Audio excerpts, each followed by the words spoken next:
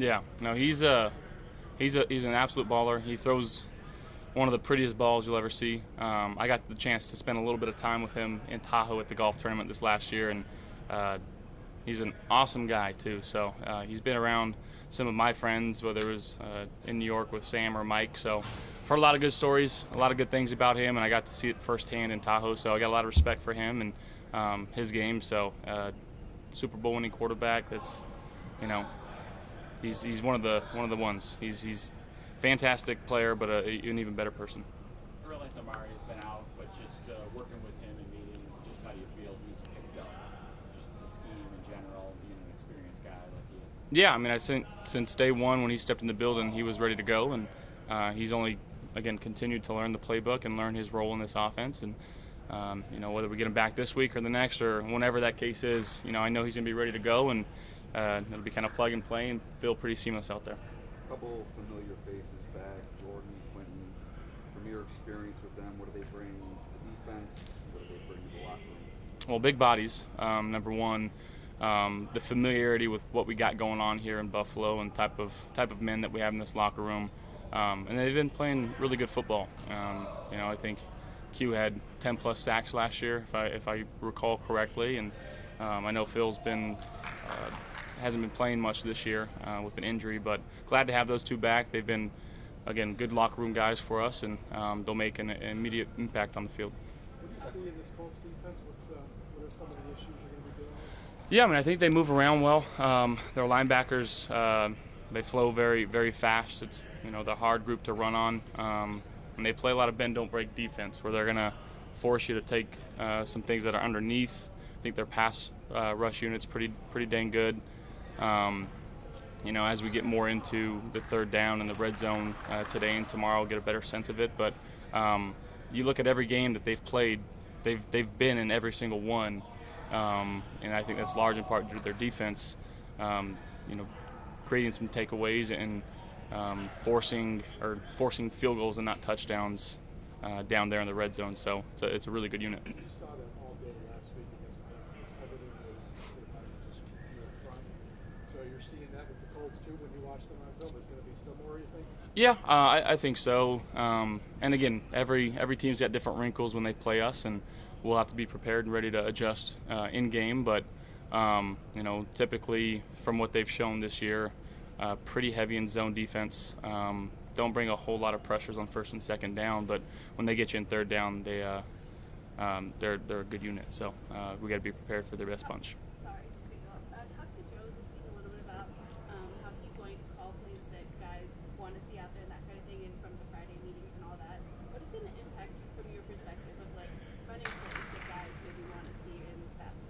Yeah, I think a lot of it's ownership. Guys taking accountability of you know if I told Joe that I want this play and he calls it, I got to go and make it work because you know uh, we're putting ourselves on the line there in terms of him trusting us. And you know as long as we keep executing um, some of the plays that we like, he's going to keep calling them. So again, uh, the more you do, um, you know Joe always talks about the greatest reward for doing is the opportunity to do more. So that's that's all it really is is just making sure that we're holding ourselves accountable. And if, if he's going to go out there and um, be a friendly play caller like that, that we got to make it work and make him look good at the same time. I know obviously he wants to call plays that you're comfortable with, especially. But is there? Do you have any examples of maybe something you were really passionate that he called that maybe he wasn't sure, but you know, or there was conversation? Yeah, I mean, I think it comes down to even going back to um, couple weeks ago in Seattle, third down, third and short.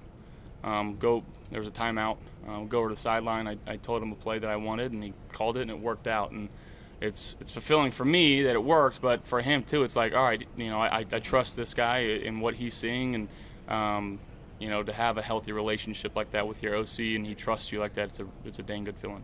Jeff, when you're going to an off season, what is your kind of process for how to go about like year over year improvement, and has it evolved at all?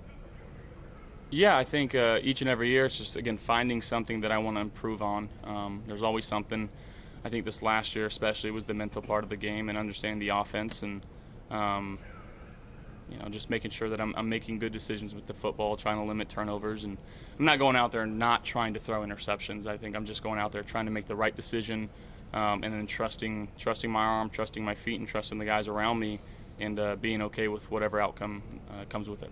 Sean mentioned like the, the command you've got now with the team and the offense uh, as something that like stuck out to him and for you this year.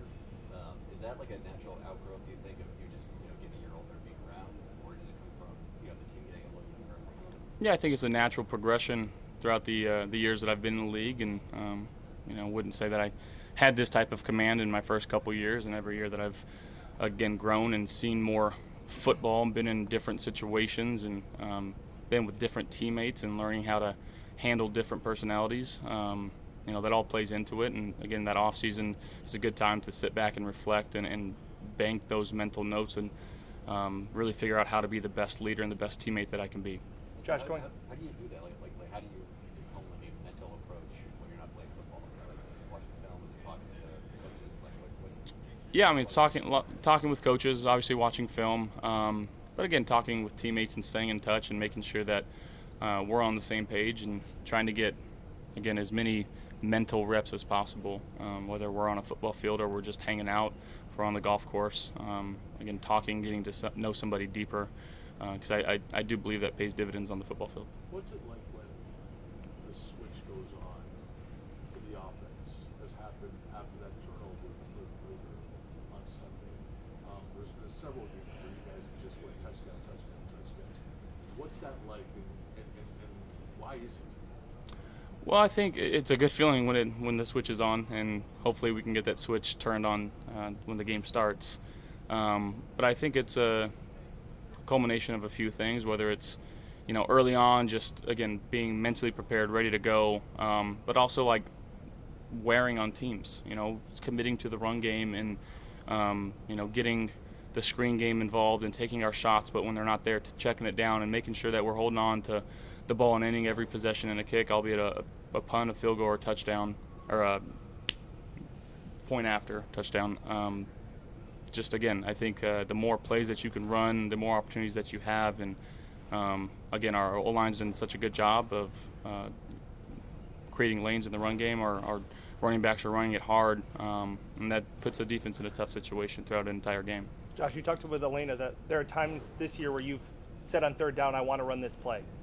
Is that something new this year, or is it your confidence level with the offense and where you are in, in your career that you've started to say, hey, I, I want this? Is that something new? Did you do that your rookie year, or is this just something Yeah, I didn't. I don't think I did it my rookie year, but um, it's not entirely new. Um, but again, for a, really a first-year play caller, if you will, with Joe and, and me, um, I know we had half a year last year, and this is the first full year. But for him to have that trust in me so early, that's obviously something that we've talked about, and um, we trust each other and, and feel good about. Um, and our relationship's only growing. So um, I, I appreciate and respect him for that and trusting me in those types of situations. Um, but ultimately, again, whatever he calls, I'm going to go up there and try to execute to the best of my ability. Josh Brandon not making any major moves, trades in terms of that today. What do you think that does for that close with this roster? Yeah, I know he trusts trusts the guy in this room, uh, trusts the guys in this room, and um, you know we've got a lot of love and a lot of faith in each other in this building, and uh, ultimately that's the, the only thing that matters. You mentioned Joe was a first-time play caller with this organization. Coach Curry comes in. What does he bring to the table uh, as quarterback? RC's been awesome. Um, he, he brings familiarity with Joe. Obviously, they were in New Orleans together for quite some time. Um, he's been around really good offenses. He's been around Drew Brees, who's one of the greatest quarterbacks of all time. Uh, a lot of good tidbits of information.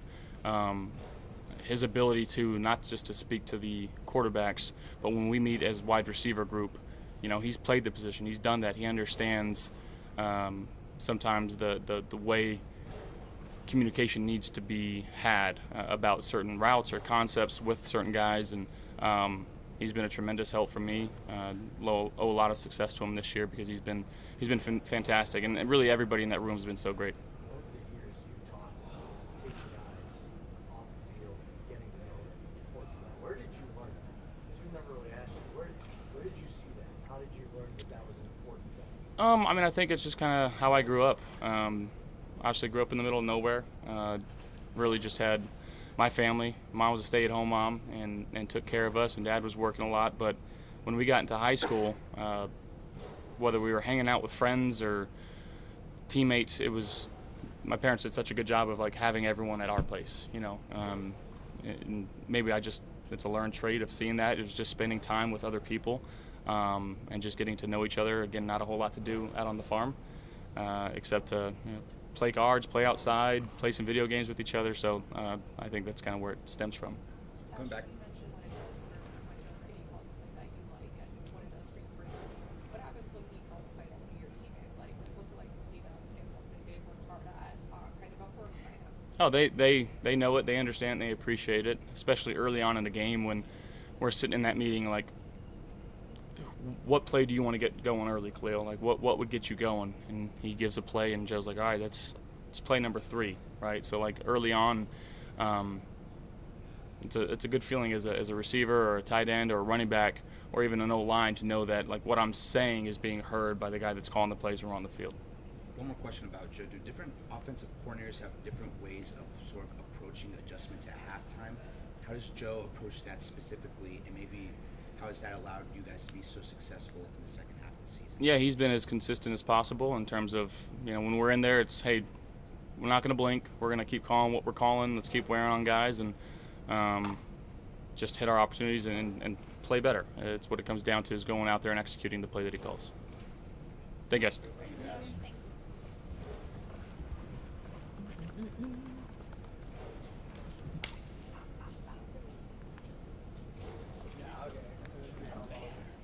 We were kind of playing the game tight end on the moves, yeah. But we were getting close.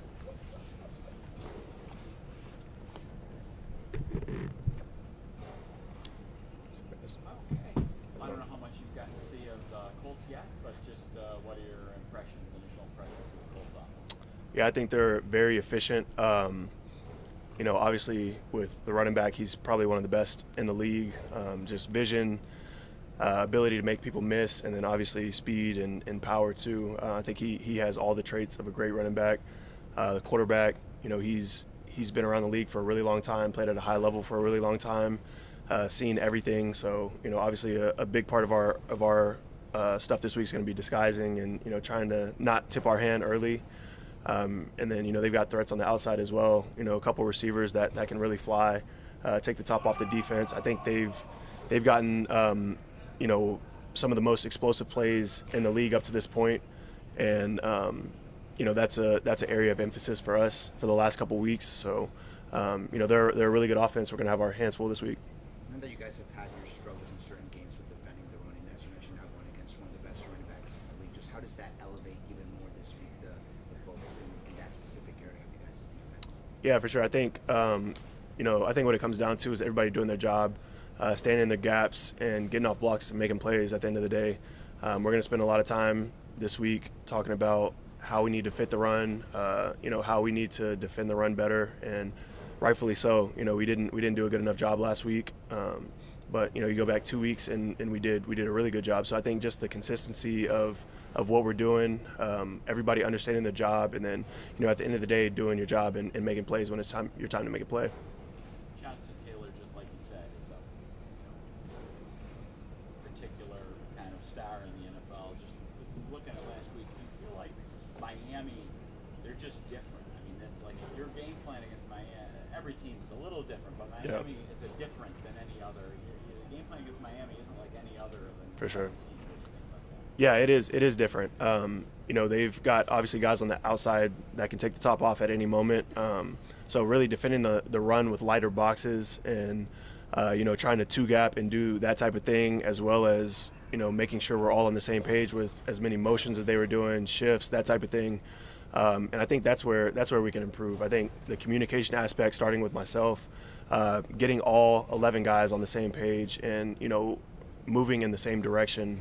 Um, I think once we get that cleaned up, um, you know, we'll be we'll be better. And I think you know, like you said, the the style of, of offense that they ran is different. You know, it's different than, than pretty much any other team in the league. So, um, you know, moving on to this week, you know, we're excited for the challenge. Like like we said earlier, they got one of the best the best backs in the league, one of the best offensive lines in the league. Um, so it'll be it'll be a challenge for us. You spent 22, Mhm. What can he kind of add to the defense? Yeah, Big Phil is awesome. Um, you know, he's one of the first vets that kind of took me under his wing when I got here. Uh, my locker was actually right next to his at St. John Fisher in training camp, so I got to spend a lot of time with him and, and got got pretty close with him and his family. Um, I think you know just his his experience. He's been he's been a lot of places. He's played a lot of good football. Uh, his physicality. He's a real big dude. Obviously, um, you know, takes up blocks, makes plays in the run game, can pass rush as well. And then you know just his energy and, and who he is as a person, as a man, as a teammate. Um, I think anytime you can get a vet like that in the room and in the building, um, it's it's going to be awesome for us. Uh, seeing him this morning was was good, man. It was it was like a, a breath, you know, a breath of fresh air. You know, just just having him back and having him around. Um, so you know, all of us are excited for him. With there's no offense to the backups who filled in so well, but have you ever stepped back with all the injuries and thought what this defense could do if it was fully healthy? Uh, I, I try not to live in that in that mindset. I think um, obviously we've had injuries. I think every team has injuries. Um, you know, some of the ones that we've had were major key contributors and, and things like that. But uh, I think you know everybody that's played for us has has played up to the standard and has done their job and has played well. Um, and you know, I think the depth that that you know uh, Brandon has built and you know Coach McDermott have brought in has been on display. So when you know some guys go out, you know other guys step in and play up to the to the standard that everybody else has. Um, so I think that's that's the, really the mindset. And you know when everybody gets healthy, then we'll see we'll see what happens. Well, that I was going to flip the question that way. Do you look forward to when everybody gets healthy and this whole unit is together? Yeah, I think so. Yeah, for sure. I think so. Um, you know, just just having the opportunity to play with you know guys like Matt when he comes back, um, you know that'll be that'll be special just because of the the type of guy, type of person, type of player he is. Um, but you know, until that moment, you know, we're focused on what we're doing right now and and you know how we can improve every day.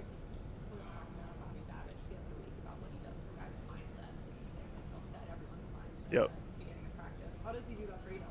Yeah, I think it starts early in the week. Um, you know, me and Bobby have a really, really good and close relationship. You know, he was the linebackers coach my last, my first couple years here. Um, so I think, you know, in the defensive unit meeting, he'll come in and really set the mindset for everybody going into the into the game. You know, things we need to do, things we need to improve on, and then just the the the mental space that we need to get to in order to win the game. Um, and then for me personally, you know, we talk, you know, 24/7. Um, he's giving me tips, keys, you know, anything that, that he thinks I need to focus on or anything he thinks I need to, you know, display and give to the defense to, to help all of us. Um, and, you know, I think he's been one of the best in the building at, at that, just really shaping our mind and our mental um, approach every single week. How important is that to not only do it for you guys individually, but it sounds like to get everyone Yeah. Yeah, I think it's really important. You know, it's a it's a long season, and um, you know, you can't you can't look past any week. You can't you can't miss any days. And I think he does a good job of you know after the game's over, coming back, you know, assessing where we need to get better, and then like I said, just framing the mental aspect of it of where we need to go. You know, heading into each game. Did you see what Saquon Barkley did? I did. That was insane. Yeah, it was insane. the defensive player's worst nightmare? Uh, I mean, I don't, I don't really know how you can defend that. Um, you know, he made a couple guys miss, and then you know he has his back to somebody and jumps over him. Like that was, it was insane. Uh, he was, he's one of the best backs I've ever played. So you know, seeing him do something like that was just, it was insane. It's another Miami question, but it applies to any team that's running motion at the snap. It seems like, I don't know, for me, like eighty percent of the time, they're running motion at the snap. Changes the strength of the formation. The linebackers have to slide this way. Yep. But you know that it's just the, now the guard has an angle on you. Are Yep. you thinking, okay, how am I gonna get back and defeat that? Or can you not think that too much because now you're not playing it honest, you know? I think, yeah, I think, I think it goes both ways. Um, I think you kind of have to fill it out throughout the game and get an idea of what they're trying to do. You know, Miami did a lot of, like you said, jetting to one side and then running outside zone the opposite way. So they get you moving to a certain gap and then you know try to get angles on you in the run game. Um, you know, that's a that's a common theme in the NFL, but I think Miami does it really well. Um, but like I said, I think it's it's just part of the game that you have to feel and kind of understand whether they're trying to to get you to move the wrong way or trying to get you to just get angles uh, in the run game. So I think it's a it's a feel type of thing throughout throughout the week. Thank you. Thank you. Appreciate it.